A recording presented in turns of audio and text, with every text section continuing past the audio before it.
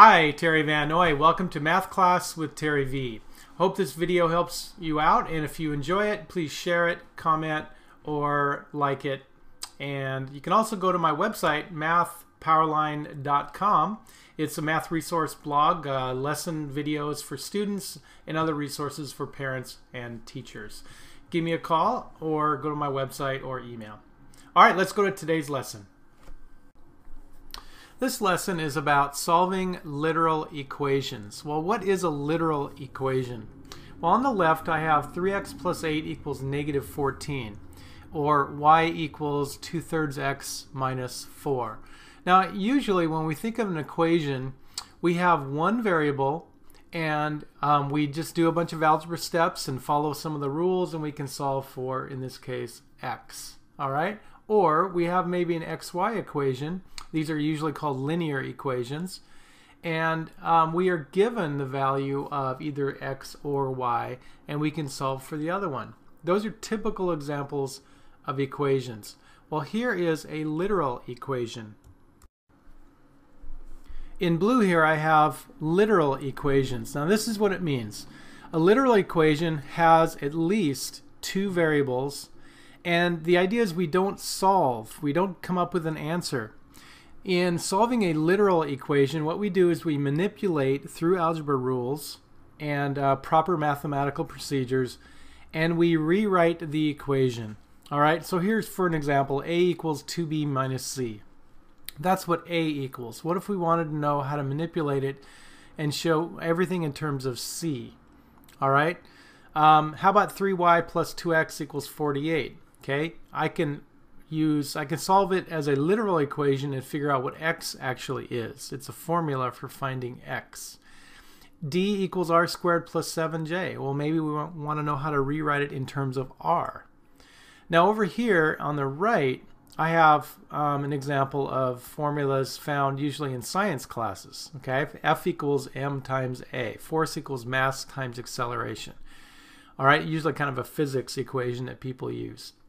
Well, force is capital F, and it means that we do mass times acceleration. What if we want to know how acceleration is determined? So we solve that as a literal equation.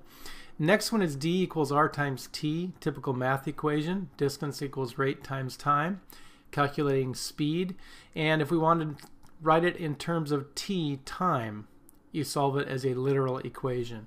So let's take a look at how you would do the solving.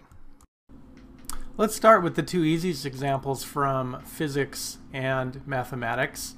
And that is the force equation, force equals mass times acceleration. To solve this as a literal equation, we want to choose another variable to rewrite the equation into. In other words, what if we want to know how acceleration is calculated? So we treat that as a variable, which it is, and we get rid of everything else on that side. In this case, we're going to divide everything by m. All right, so the same formula, force equals mass times acceleration, can be written in terms of acceleration, and that means that if we know the force, we divide it by the mass or the weight of an object. All right, so we have solved it as a literal equation. We don't have an answer, we just manipulate it and rewrite it in a different form. All right, what if I want to know the rate of speed? Okay, how do you do that? Well, we undo the times t by dividing by t. It's always using an opposite operation. And then we rewrite it. So r equals the distance traveled divided by how long it took to travel it. Distance divided by time. Okay, those are two very simple examples of literal equations. So here are some examples for you to try. In the first equation, a equals 2b minus c, I want you to solve it in terms of b. In this one, I want you to solve it in terms of y. And on this one, I want you to solve it in terms of r. So hit pause on the video, and you want to undo it using opposite operations in inverse order. You give it a try, and then I'll talk about it.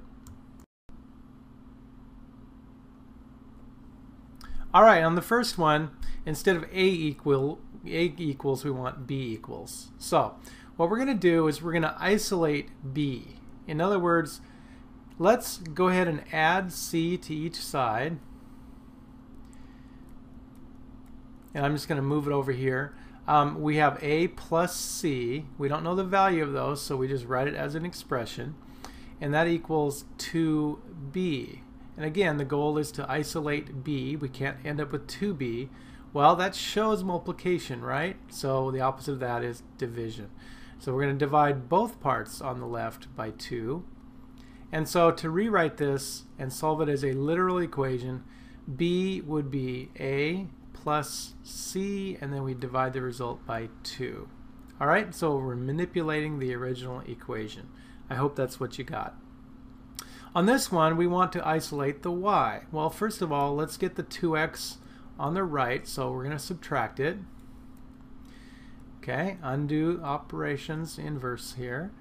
And those two x's are going to cancel out. So, so far I have 3y on the left and 48 minus 2x. Now I could rearrange those if I wanted to and say minus 2x plus 48, but it doesn't matter. If I'm going to say 3y, the opposite is dividing by 3, and so I would divide everything there by 3.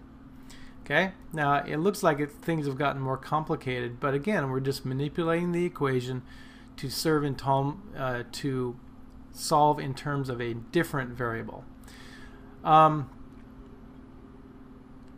Let's go ahead and leave it in this form. I could simplify it a little bit and kind of make some fractions here, but let's go ahead and leave it 48 minus 2x over 3. All right, and finally, now we have an exponent, so let's see what happens there. I'm going to subtract 7j from each side. And that'll give me d minus 7j equals r squared. All right, well, what do you do with an exponent like r squared? Well, if I'm going to take an r value and square it, the opposite is to take the square root.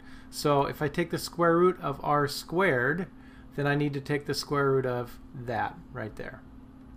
All right, and to finish this up, hopefully you've tried this and you gave it a shot.